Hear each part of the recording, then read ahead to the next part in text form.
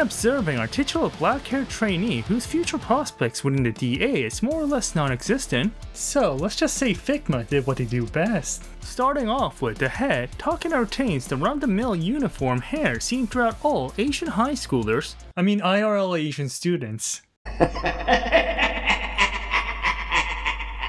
in which design is nothing to run home about, but it's the details that shine as Takina's hair boasts the intricate hair details commonly found in Figma figures such as the elastic curves, the individual linings, and the attention to proportions. Perfectly balanced, as all things should be. That culminates in a hair that puts even IRL characters to shame. But Figma isn't one to end with a decent hair sculpt as the hair is connected by an additional joint that helps in not only some wicked hair poses but also to support the various head movements required when engaging in CQB. But maybe the most important aspect regarding an anime figure is when they mastered in faithfully recreating the face. And come and behold, Takina retains the cute but also deductive look that was portrayed in the anime in plastic form. Such feats are highlighted by the large blue pupil anime style eyes that not only mirror Takina's true self, but also painted with love and care that aid in reflecting the anime aesthetic rather than the hell this is. The sharp anime nose, the fluffy and round cheeks that makes anybody want to poke fun at, and a simple pen-marked mouth. But if you're not convinced that this is enough Takina for you, there's also the smiling face that, compared to the out-of-the-box face, emits positive emotions as portrayed through the less irritated intent-filled pupils, and that grin, which culminates expression when Takina, uh, unlike that of her harsh upbringing, is being showered with love and affection that she desperately needed.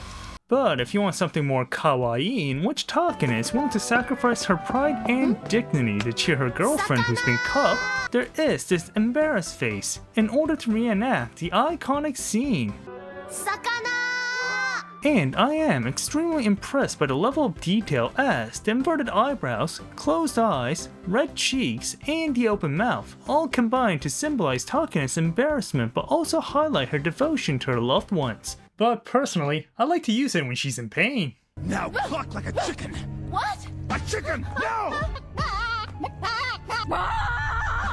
But even though Takina possesses the ability to outfight a stormtrooper, she is still but a mere kid. And kids are cruel.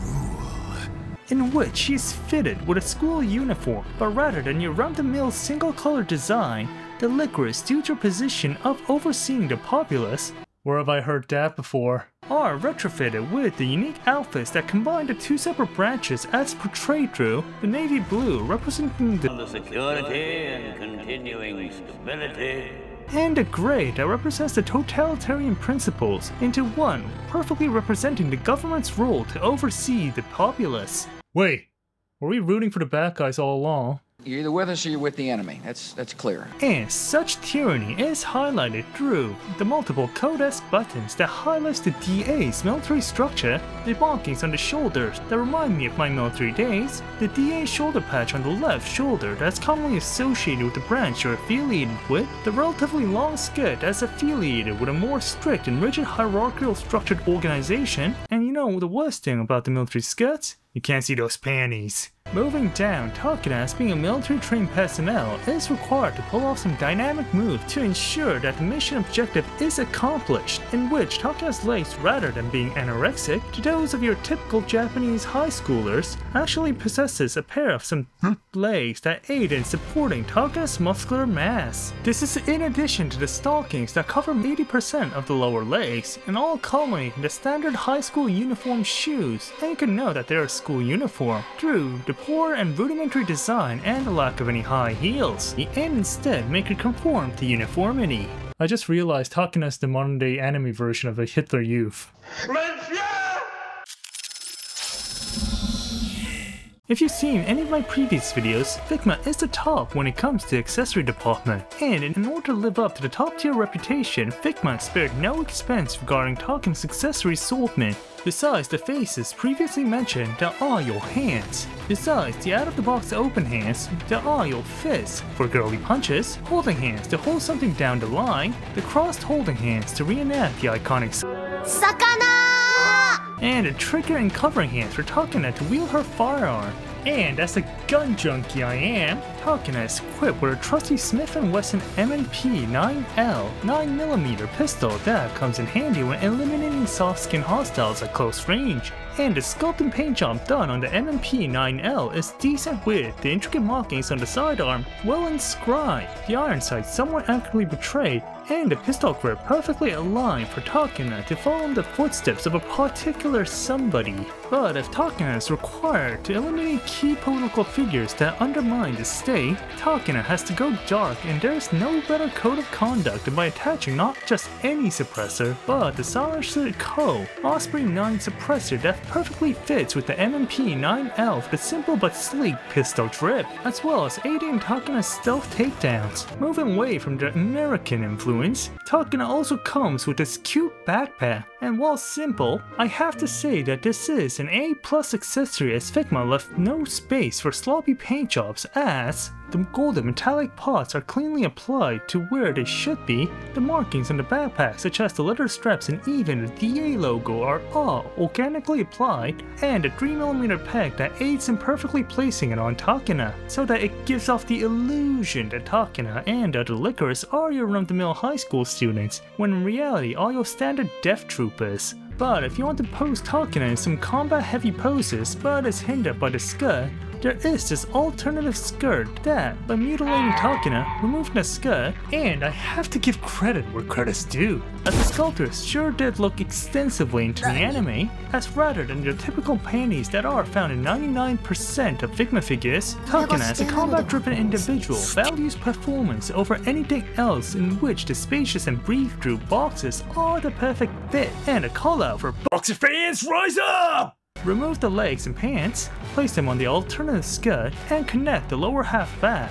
in which you have Takina with the front of the skirt all open for Takina to engage in either sitting down in style or doggy style. Recreating when Chisato discovers the truth. You can't handle the truth! But if you want Takina to fire in a crouch position, there are these alternative pieces, depending on which knee you want to lean forward, can place by removing the front piece and reattaching the alternative piece. And here's Takina in a crouch position, in which makes it the perfect position when using either assault rifles and LMGs in cover. In that moment, I received some semblance of hope. An opportunity to grieve Analo. And your son took that from me. Oh, Stole that from me. Killed that from me! People keep asking if I'm back, and I haven't really had an answer. But now, yeah, I'm thinking I'm back. When looking closely at our titular poster child, it is obvious that Chisato was the character that Figma had in mind when designing the set, as the expressions and poses that were depicted in the anime are one-to-one depicted in plastic form, which is something Figma had a hard time doing from time to time. Such depictions are firstly observed through the titular yellow coconut-like hair that, just like Takina, retains the intricate details such as the individual hairlines and the red ribbon neatly ties the rest of Chisato's blonde hair into the idol image of a student that the Japanese education system desires. But I can say for sure that Chisato is far from the image of an idol student as just by observing her face does she possess an expression that is overly positive for the collectivist Asian culture. Such excess supply in dopamine is possible through the large intent-filled pupils that excrete the positive energy stored within the unique high schooler, the sharp and simple anime-style nose, the smile that is so great that the inside of her mouth is all exposed, and the kawaii cheeks that gives off the illusion that I could break the president in two! With my bare hands! But if this isn't kawaii enough for you, there is this extra cheerful face that this time round double dips into the drug that is dopamine, in which the smile is cranked up to 11 as portrayed through the slightly smaller but more focus eyes that are clearly locked onto an unlucky or lucky depending on who you're asking. You thunder against me! The blood red pink cheeks that explicitly portrays Chisato's joy, and a teeth grinding grin with her flawless tooth all exposed, culminating an expression that can mean she can be your angel or she can be your devil. But if Chisato is ever to come to realize that someone or something deprived the living breath out of Chisato's loved one, the once hopeful and optimistic persona is completely erased and in its place is an expression that reflects vengeance and furious anger. such expression is fulfilled through the completely inverted eyebrows, the pupils that retain similar levels of vengeance to John Wick, and a completely shut mouth. All of which culminates in a face that depicts our beloved girl forsake her code of conduct and completely drench herself in the warpath. Yeah, Jonathan. But our beloved Lolly protagonist, just like her personality, also likes to stand out regarding her drip, in which rather than the commonly provided pseudo-totalitarian vibes, Chisato adopts a more red outfit that's reminiscent of another pseudo-similar group. I must be seeing things. But besides the alterations in ideology, the core remains the same with the imperial gray scattered throughout, the buttons this time colored gold, the individual wrinkles organically embedded, and a DA shoulder patch situated on the left. Not to forget the blue colored bow tie on the chest. But even with such measures that inhibit any signs of uniformity, Chisato and her lucky go-to nature may have been something the state couldn't handle as her physical traits were too much for them to censor that had the opposite effect in which further highlights Chisato's ballistics and mocks her not only as a threat to gun-wielding hostiles but also to gun-wielding hostiles. And looking beneath the skirt,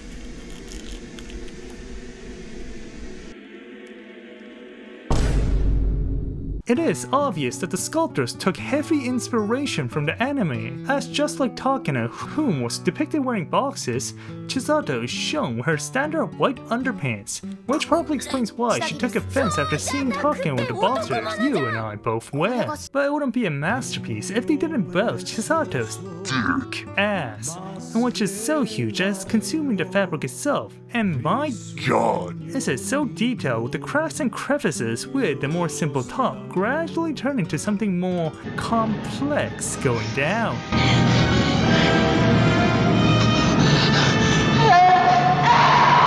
Death colored in your standard skin tone would definitely be a different category of figure. But just in case,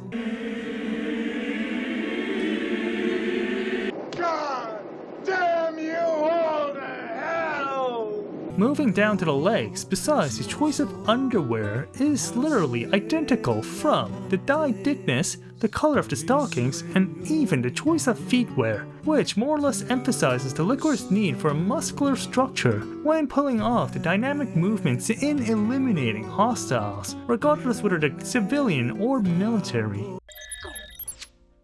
When having a look at what Chisato has at her disposal, it's more or less identical to her girlfriend, minus a few variations. Besides the previously mentioned faces, the odd Chisato's accompany hands starting off with the out-of-the-box open hands, fist for punching narcissists, holding hands just like Takina to, for Chisato to use her phone, a large holding hand hold something down the line, the dual finger hand that's perfect when Chisato is posing in front of British lads with style, and these shooting hands that are the perfect pair when Chisato is wielding her sidearm. And there's no pistol better suited for Chisato in taking down hostiles than her trusty Detonics Combat Master that, unlike Takina's more modern M&P 9L, goes old school, as the Combat Master is more or less a variant of the classic Colt 1911 in which it fires the 45 ACP round that, while holds less rounds in a mag, has better firepower to compensate. This is alongside that this gun, when for those intimate encounters, has fangs, allowing to suit with Chisato's rapid and tactical style of approach. But as the outgoing extrovert Chisato is, guns aren't her only weapons as she comes with a smartphone, and by the looks of it, an iPhone, that not only aids in Chisato socially assassinating particular figures online, but also in the case where the Korean government orders for Chisato's personal information from Apple, rest assured that Apple will deny such requests. But if you want Chisato to pull off some dynamic poses as seen in the anime, just like Takina, Chisato is accompanied by a various set of skirts in which, by removing the upper torso, removing the skirt, the legs,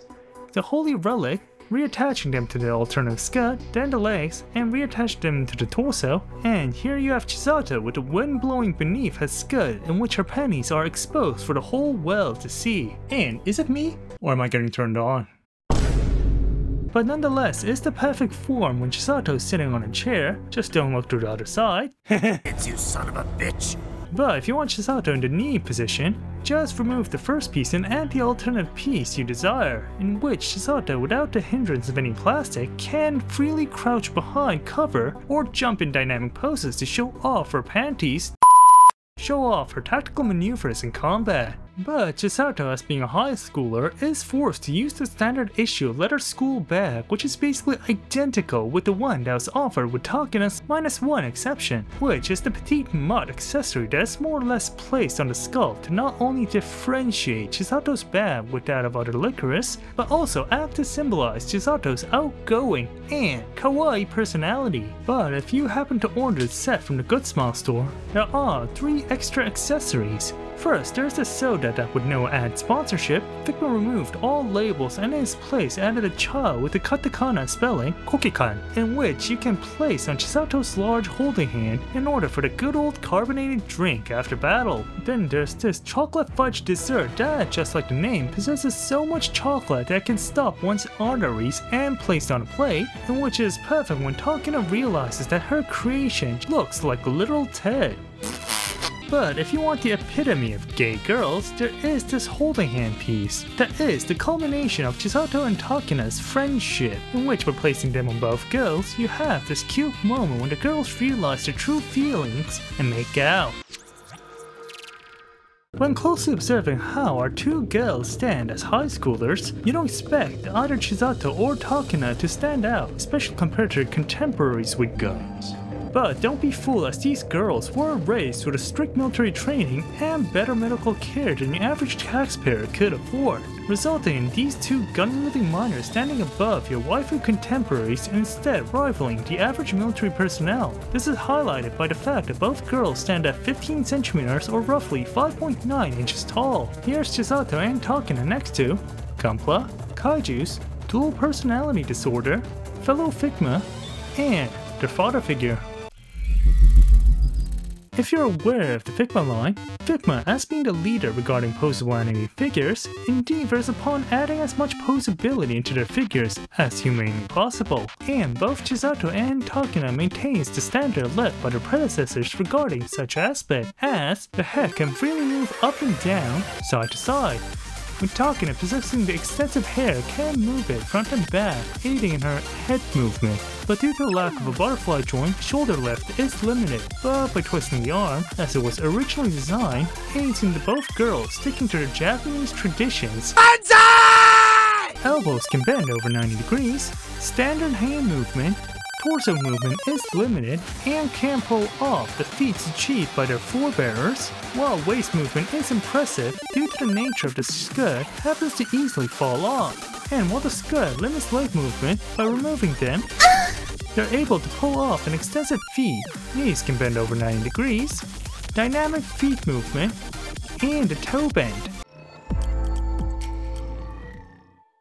So, regarding Figma's iteration of Chisato and Takina, Figma worked their wonders once again when they accurately depicted the characters from the anime into plastic form. Such achievements are portrayed through the intricate details placed throughout the body and outfit, the face that accurately depicts the expression seen in the anime, and the individual underpants for each character. So there's a treat for everybody, regardless of whether you're a boxer fan or a fan of traditional wear. But to be frank, I'm more of a fan of tight panties.